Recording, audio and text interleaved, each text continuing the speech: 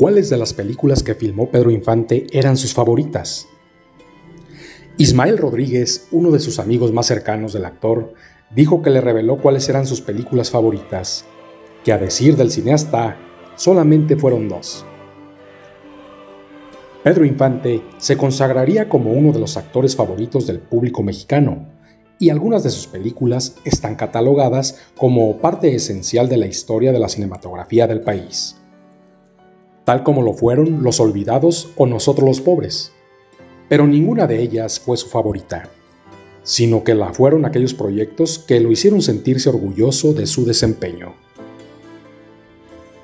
Ismael Rodríguez, uno de los amigos cercanos de Pedro Infante, no solo fue el cineasta en el que más confió, claro, a lo largo de toda su carrera, sino que también se convertiría en su confidente, con, quien compartió sus inquietudes, inseguridades y tal vez sus gustos. Según relató Ismael en una entrevista, el ídolo de Guamúchil llegó a revelarle cuáles eran sus películas favoritas, pero solo se trató de dos, y ambas él fue el protagonista. El director aseguró que Pedro nunca sintió predilección por alguno de los proyectos en los que participó sino que se sentía orgulloso de lo que había podido hacer con algunos de sus personajes. La primera que recuerda el cineasta sería Los Tres Huastecos, que filmó en el año de 1948, pues lograría interpretar a tres personajes al mismo tiempo y con diferente voz.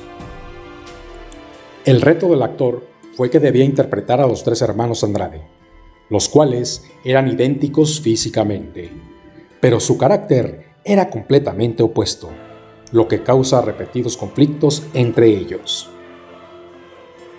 Además, según cuenta Ismael, a Pedro le gustó que en este proyecto pudo trabajar con algunas de las actrices que él más quería y admiraba, como lo fueron Sara García, con quien tuvo una muy mala relación al principio, y Blanca Estela Pavón, su inolvidable chorreada, quien fue su mancuerna perfecta en la cinematografía nacional. Fue a partir de esta película y de lo mucho que le gustó a Pedro, que Ismael Rodríguez buscaría la forma de darle gusto a su gran amigo y comenzó a idear una cinta en la que el intérprete de Amorcito Corazón interpretara a siete personajes al mismo tiempo. No obstante, este proyecto no pudo llevarse a cabo. Este film obtuvo seis nominaciones en los premios Ariel, por mejor adaptación y mejor edición de película por mejor director y mejor guion para Ismael Rodríguez, por mejor actor principal para Pedro Infante y mejor papel juvenil para María Eugenia Llamas, mejor conocida como La Tucita. La segunda película favorita del sinaloense fue Sobre las olas, del año de 1950, también dirigida por Ismael Rodríguez y coestelarizada por Beatriz Aguirre y Andrés Soler.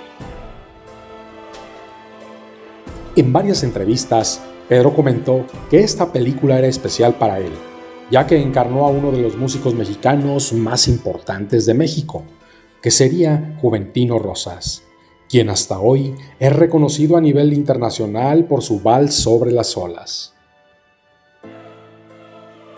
Y es que el histrión, al haberse preparado como músico gracias al amor que sentía su padre hacia su profesión, lo llevó a ser un gran admirador de Juventino Rosas, por lo que para él fue un honor interpretarlo, según expresaba.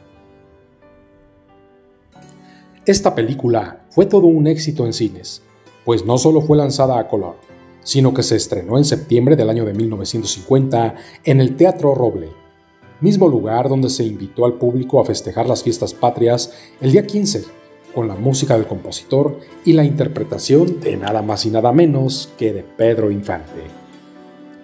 Sobre las olas fue aclamada por la crítica como uno de los films históricos mejores realizados y con la mejor dirección musical. Y bien amigos, con esta historia llegamos al final de nuestra emisión, esperando haya sido completamente de tu agrado y la hayas disfrutado tanto como yo. Nos vemos en el siguiente video. Gracias, hasta la próxima y chao.